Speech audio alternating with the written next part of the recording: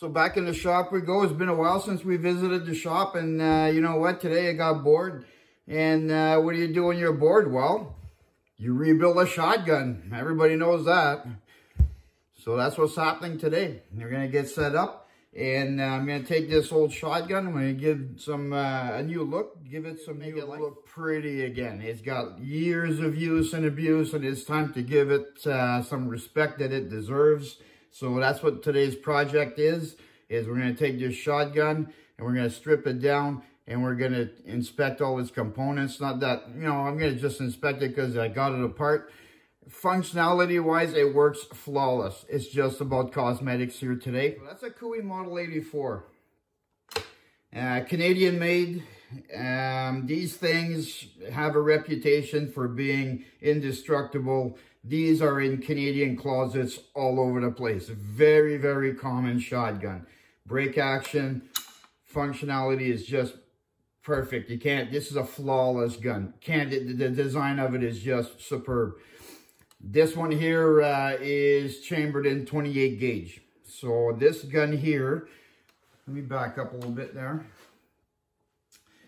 So this gun, I guess you could say uh, probably would be, be, classified as vintage there now because it's about 75 years old. Um, I grew up shooting this gun. Involved in hunting, she developed an interest in uh, grouse hunting. I gave her my old shotgun. And this is officially her shotgun. So we're going to take care of it a little bit more. So today, uh, it's not only going to be the bluing. I've blued guns before, so uh, I've done this before. And we're also going to refinish the stock. But today, I'm using a product that I've never used before. This is Perma Blue by Birchwood. And also the kit, there's two kits. One is the bluing kit, one is the uh, gun stock kit walnut stain and oil and all this kind of stuff. Again, I've never used these products, so maybe once I'm all done with this, perhaps I'll give my two cents, my thoughts on the product, okay? And, because I've blued before, but not with this. So, I'm going to go get myself a coffee. I'm going to come back. I'm going to re-rig the cameras. And uh, we're going to start taking stuff apart.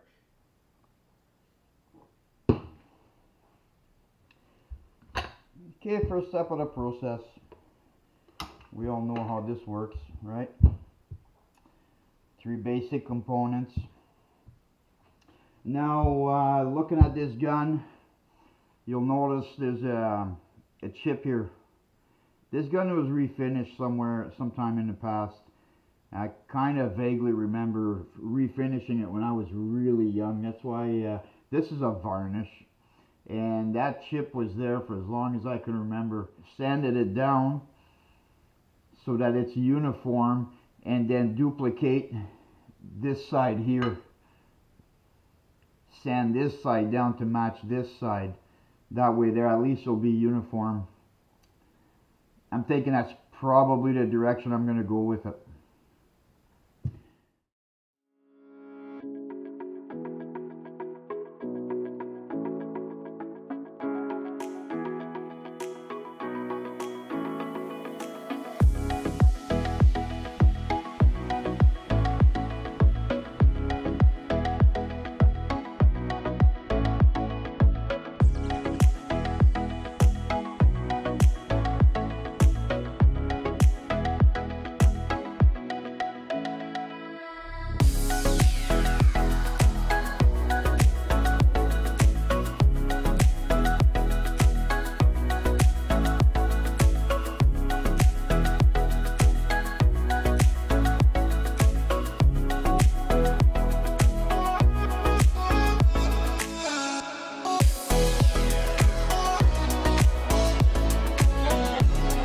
The mechanism, I'm looking at it,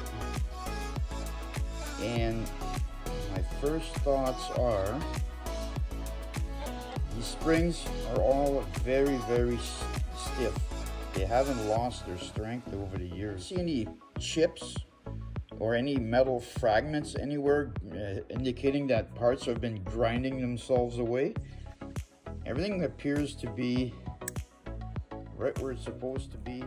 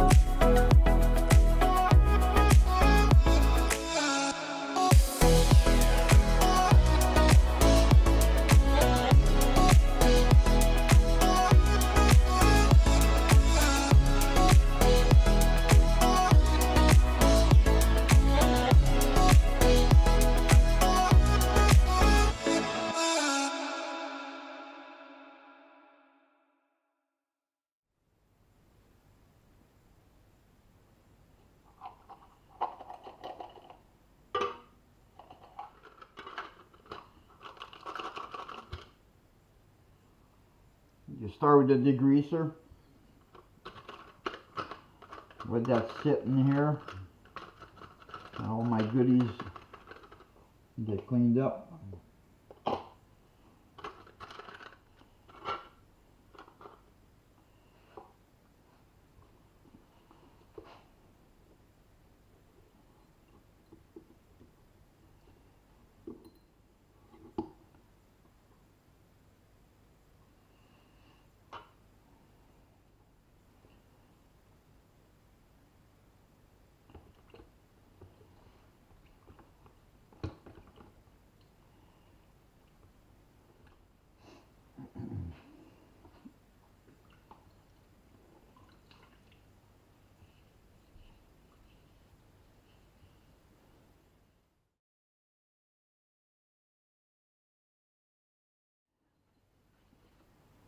Okay, the cleaning of the uh, the gun parts is going quite well. Cleaner is uh, interesting. It's uh, it it seems to really pull the old grease out. It it's um, it doesn't feel it doesn't smell like a, a strong degreaser, and uh, it certainly doesn't have, uh, I'm using it without gloves. I don't know if you, you shouldn't or not. I'm not going to say you should. I don't see any problems right now. Your parts are supposed to be cleaned in water after a few minutes of the degreaser. Okay, that's it for the degreaser. The cleaner degreaser.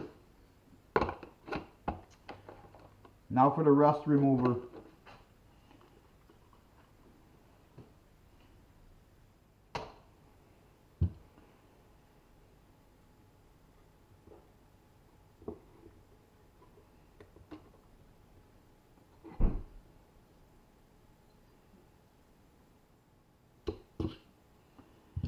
Okay, so unlike the uh, cleaner degreaser, the uh, rust remover, the, it does have a caution to wear gloves. And I can't seem to find any uh, latex gloves. I'm obviously out of them. So, I'm going to do the next best thing. And it's, I'm going to use caution. Which is why I got the uh, a piece of wire because I can hang it and as I can I can work it. And of course well I got uh, some water I can wash my hands. So I'm going to use an applicator for this part of the process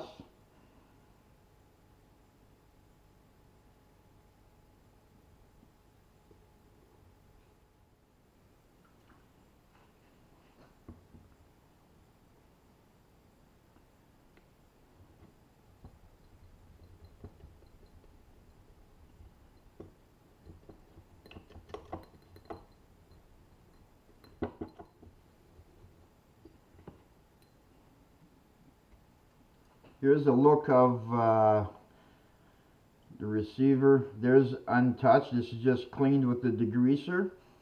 And there's the side with the rust remover.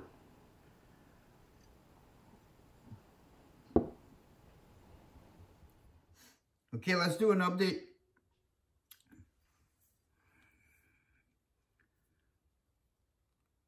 Look going to shine on it now. So what I've done is after using the rust remover, and following the instructions, you've seen what the breech looked like. And I, to me, it looked like it was okay, but you know what? In the back of my mind, I was like, it wasn't quite the way I want it.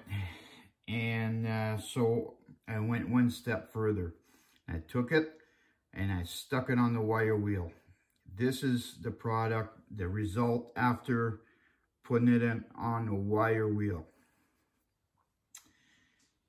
Now it's clean.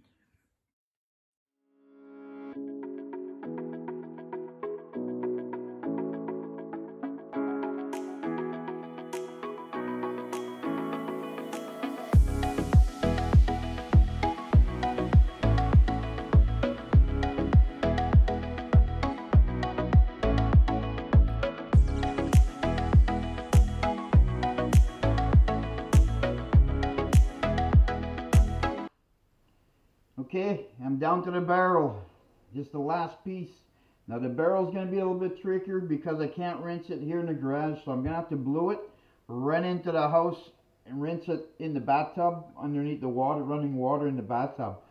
And the barrel, I know from past experience from bluing, when you use these little kind of swab things, when you do a large surface, you can end up with a blotchy finish because you're swabbing a small area.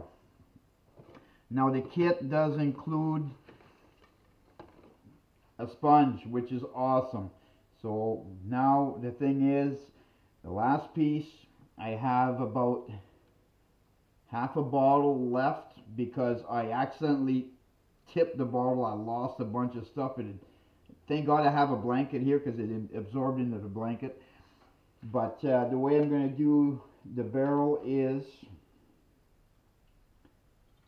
I'm going to pour all my solution in here.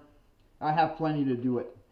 And uh, I'm going to soak up the sponge, give it a wipe real fast, take off, go into the house and rinse it off. And then uh, it's going to be a minimum two applications.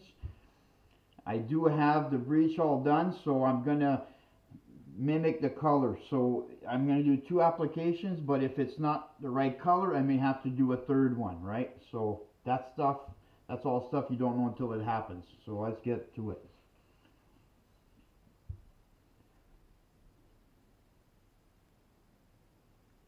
Okay, it's uh, do or die kind of thing. Got to do it.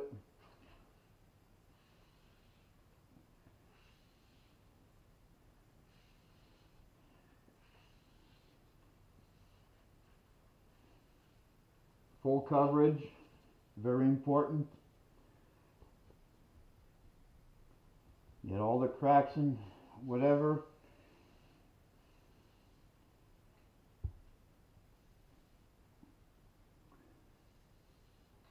As you can see, I'm not messing around. and kind of have to get her done kind of thing. All right just like that. Okay, I'm off to go rinse this off. By the, I only got have about a minute, right? According to the directions, it's one minute. Basically, as far as I'm concerned, it's all about not letting it dry. You want to rinse it off before the solution dries, is what I'm my take is on it.